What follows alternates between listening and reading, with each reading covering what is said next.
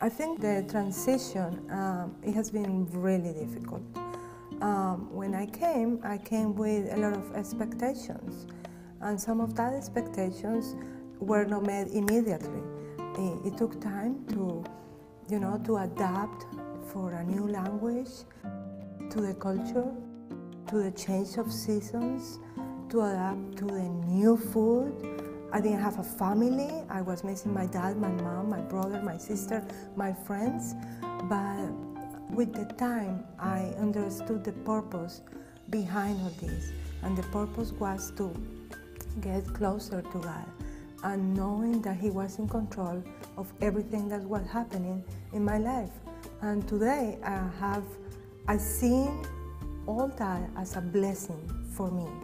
I have grown so much being an immigrant here, bringing good things, and also learning beautiful things.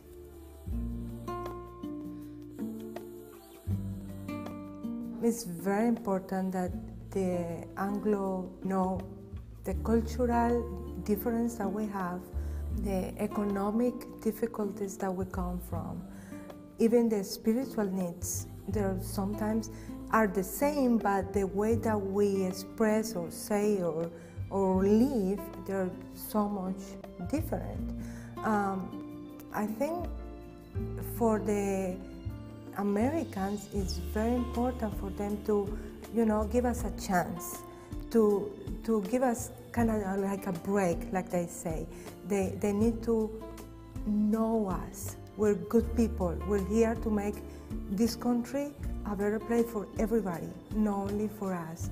That's the wonderful thing that Christ taught us. You know, it, it doesn't matter if you're from Colombia, from the United States, or from El Salvador, or from any other country. We are all one in Christ. One of the little things that they can probably start doing is, uh, you know, take a moment to say hello. What's your name? Where are you coming from? Where do you live? Where do you work? If you start being involved in their lives, you start understanding what is going on in their lives. Uh, with the kids, sometimes uh, American kids has everything. Our kids don't have everything, you know. And if they try to have everything, the parents don't have savings, uh, or they don't have food. You know, it's, it's, it's, it's another reality. It's like another world in America.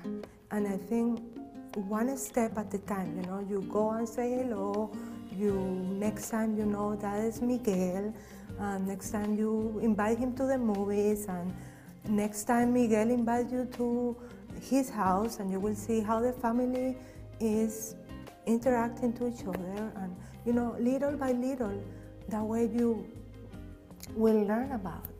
I think that's the most important thing. In, in the church that I belong, they have the immigration process uh, for papers. You know, if you come in a tourist visa, you can get, you apply this and you do this, and some attorneys help you to do that, and it was free. For me, there was an immigrant with no money that was, wow, free? In my country, that doesn't happen. I need to pay for everything. That means, wow, these people are not from this earth. I need to go there, you know? I, I went to the ESL classes. That's another thing. The ESL classes make us feel that the Anglo community, they're really giving their time to us. They really want us to learn, you know? It's, it's a volunteer thing. They're taking their time to teach us. That's amazing. That showed us love for us. That was beautiful. And I think the more connection that we have to each other, the better that we can serve. I would say that an Anglo congregation probably will change because we can put a little uh, spicy thing to their lives. We are always happy, we're always on tone of, you know, uh, get up, let's do this, and or even the way we talk, we're very positive or loud, or you know, it's, it's something different for them. And when they see the Latinos put their hands in the, in the air or move a little bit, they start being probably, you know, I can't clap. Also, this is another way of worshiping God, and they feel more free and they start hugging. Uh, that has happened in, in our uh, church the senior pastor.